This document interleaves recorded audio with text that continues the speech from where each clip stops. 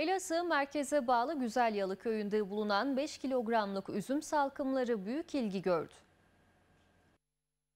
Elazığ'ın Güzelyalı köyünde bir sosyal medya fenomeni tarafından çekilen üzüm videosu kısa sürede viral oldu. Ne Manisa ne Nevşehir. Neredeyiz? Elazığ'dayız. Böyle bir salkım varsa Hodri Meydan. Elazığ'ın verimli topraklarında yetişen üzümler hem lezzeti hem de görüntüsüyle büyük beğeni toplarken çekilen video sosyal medya platformlarında hızla yayıldı. Oo, oo, oo. En az 5 kilo var 5 kilo. Şuna bakar mısın ya? Özellikle Elazığ'ın ünlü üzümleri ve bu ürünlerin doğal yetiştirme süreci hem yerel halkın hem de dışarıdan izleyenlerin ilgisini çekti. Bir ablamız ne yapıyordu? Şu şekilde bir taktik uygulamış.